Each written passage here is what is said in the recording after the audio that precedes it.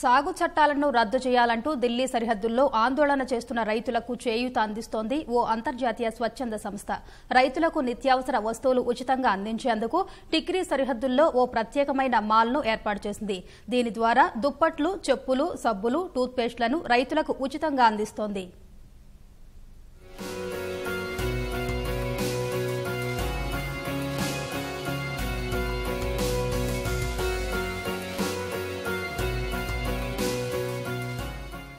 ముప్పై రోజులుగా ఢిల్లీ సరిహద్దుల్లోనే ఉంటూ కేంద్రం అమలు చేసిన వ్యవసాయ చట్టాలను రద్దు చేయాలని నిరసనలు సాగిస్తున్న రైతులకు సాయం చేసేందుకు ముందుకొచ్చింది ఖల్సా ఎయిడ్ స్వచ్ఛంద సంస్థ.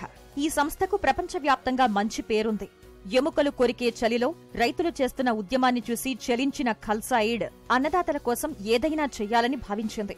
ఉద్యమ కేంద్రాల్లో కనీస వసతులు లేక రైతులు ఇబ్బంది పడుతుంటే వారికి నిత్యావసర వస్తువులు ఉచితంగా అందించేందుకు ఢిల్లీలోని టిక్రీ సరిహద్దు వద్ద కిసాన్ మాల్ను ఏర్పాటు చేసింది.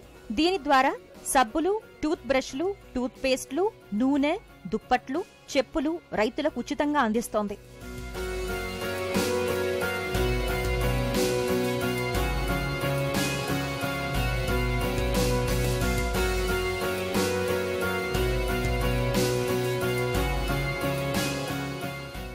కిసాన్ మాల్లో నిత్యావసర వస్తువులు తీసుకునేందుకు రైతులకు టోకెన్లు ఇవ్వనున్నట్లు ఖల్సా ఎయిడ్ నిర్వాహకులు తెలిపారు.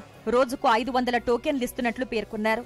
ఈ టోకెన్లు తీసుకుని రైతులు మాల్కు వెళ్ళి వారికి ఇష్టమైన వస్తువులు తీసుకోవచ్చని వివరించారు. రైతులు మాల్లోకి ప్రవేశించగానే అక్కడ ఏ ఏ వస్తువులు ఉన్నాయో తెలుపుతూ ఒక జాబితా తయారు చేసినట్లు వెల్లడించారు.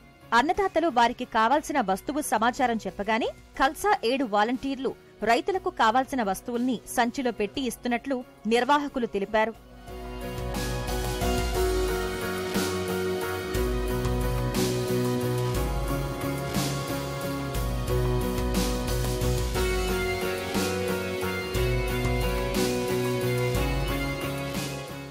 ఢిల్లీ సరిహద్దుల్లో ఉద్యమిస్తున్న రైతుల కోసం ఇప్పటికే పలు స్వచ్ఛంద సంస్థలు సెలూన్లు ఫిట్నెస్ సెంటర్లు సంగీత కార్యక్రమాలు ఏర్పాటు చేశాయి.